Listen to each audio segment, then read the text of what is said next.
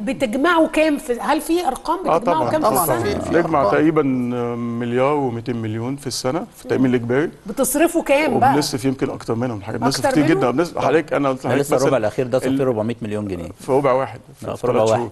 يعني أنا قلت لحضرتك ال- ال- اللي هو مش مأمن أو الناس اللي هي المجهل إحنا بنصرف حوالي 200 مليون في السنة فيه. نرجع تاني لتأمين ال- ال- العربيات بقى اللي اسمه التكميل. التامين التكميلي. آه. التاميني التكميلي. كيف تأثر هذا التأمين بارتفاع الأسعار؟ يعني إحنا دلوقتي أنا مأمنة على عربيتي برقم. جولي بشركة التأمين قالت لي يا أستاذة لميس دلوقتي العربيات غليت وقطع الغيار غليت نتيجة ال devaluation وقيمة سوقيه العربية غليت فانت لازم ترفعي قيمة التأمين. صحيح. طيب. ده ماشي هدفع ما إحنا حضرتك في الحالات اللي زي دي في الحقيقة يمكن بنجد بعض الصعوبات في إقناع العميل آه، إنه إزاي يزود مبلغ التأمين عشان خاطر يواجه القيمة الحقيقية. إحنا هي الفكرة من التأمين في الأساس إنه إحنا بنجمع أقساط التأمين عشان نواجه منها الحوادث المختلفة. آه، الأساس بتاعنا في تا- في حساب قسط التأمين هو مبلغ تأمين السيارة أو قيمة السيارة. وبالتالي لو السيارة ارتفعت قيمتها يعني معناها ارتفعت حتى تكاليف الإصلاح بتاعتها وتكاليف التعويض بتاعها وما انعكسش ده على قسط التأمين هيخلي إنه مبلغ الت- القسط اللي إحنا بنجمعه غير كافي. وبالتالي بيعرض شركات التأمين لخسارة. وحضرتك عارفة إنه إذا أنا كنت هتعرض آه، بسبب ده لخسارة مش هقدر أكمل هذه الخدمة.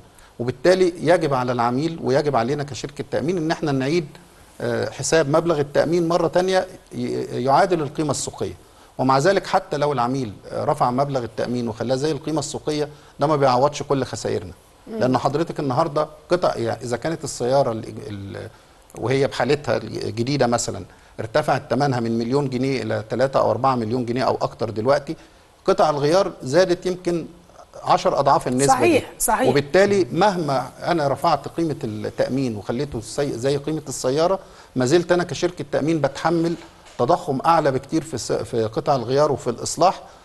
بيعوضوا جزء من اقساط التامين اللي إحنا بنجمعها صحيح بس مثلا آه، أستاذ خالد يعني أنا آه، اشتريت العربية أول السنة في يناير. نعم. جت بقى حصل مليون devaluation عدت عليك القيمه السوقية للعربية زادت حصل كذا. إحنا في كل مرة أنت هتعلني أنت ما بتعلنيش في كل مرة وتقول لي إن القيمة السوقية زادت. لا هو إحنا إحنا برضو خدنا آه، نهج كده إن إحنا بنعمل كل quarter أو كل ثلاث شهور بنعمل review على مبالغ ال- كل ربع. كل ربع على. أسعار العربيات ونبتدي يعني آه، مجهود آه، مش بنسبة 100% بن cover كل الناس إن إحنا بن- بننبههم إن عربيتك زادت 10% 20% خلي بالك في الحالة دي أنت you have to increase ال sum insured بتاع العربية.